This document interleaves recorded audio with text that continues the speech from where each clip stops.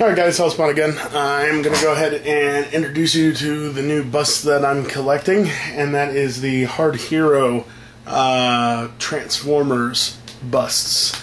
Um, they're based on the G1 style and designs.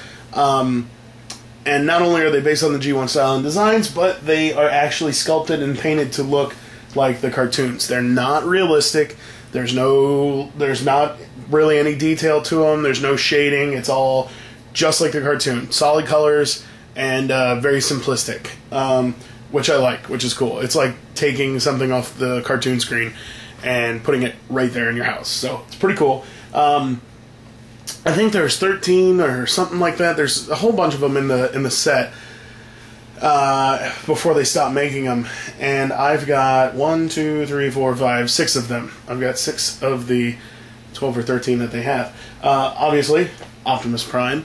Uh, really cool. Uh, he's about six to seven inches tall. Uh, about six inches to the top of the head. If you want to include the gun, he's seven or eight inches tall, about eight inches.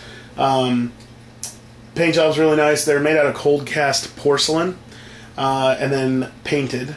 Uh, if you look it over real quick, I'll give you a nice little 360.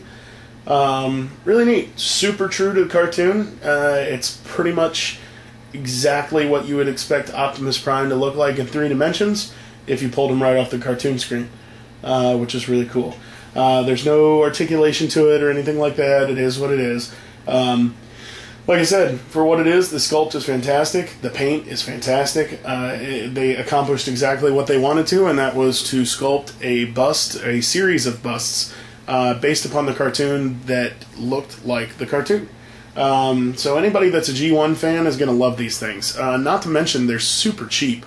If you go on eBay, uh, you can usually find these things for less than 40 bucks. Almost any of them, including the Devastator one, which I actually have on the shelf over there. I think I got the Devastator for $22 or something like that, and he's literally three times bigger than Optimus Prime. So even a huge bust like that, just wait it out. Don't buy the first one you see uh, because you can generally find them for a really good price. Um, most of mine that I've gotten, I've gotten for under twenty-five dollars, and that's with shipping included. This guy right here was actually twenty-five bucks with free shipping. So that's kind of what I'm talking about. The Optimus Primes, I haven't seen go for much less than like fifty dollars. I just happened to find a guy that had one.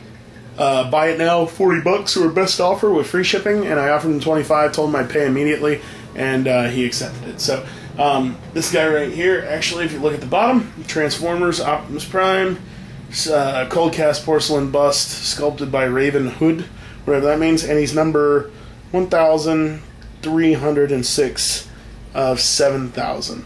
Uh, it's made by Hard Hero Enterprises, two thousand one. Uh, www.hardhero.com. Um, the one thing that I do have to say about these busts is Jesus Christ, they stink. And I uh, I don't mean that they aren't cool or they don't look good. They literally stink. I don't know if it's the paint or if it's the porcelain or what it's made out of, but they smell horrible. When you first take them out of the container, like the package and the styrofoam and all that, it's like, uh, it's pretty, pretty, pretty gnarly. Uh, and if you get enough of these guys in a small confined area without very good ventilation, uh, you can definitely tell that uh, you've got a collection of these things on your shelves. So uh, do take that into consideration if you have any type of weird gag reflex or anything like that. Um, after they've been out of the box for a while, oh God, see, it still smells. I, and I can't even. It's been out of the box for a while, and it's gotten a lot better. You can't really smell it unless you actually put it up to your nose. But literally, it's it smells like sour milk in like an old gym sock. I, it's it's it's a very distinct, very unique brand of funk uh, that's hard to uh, hard to pinpoint. But uh, it's it's not pretty.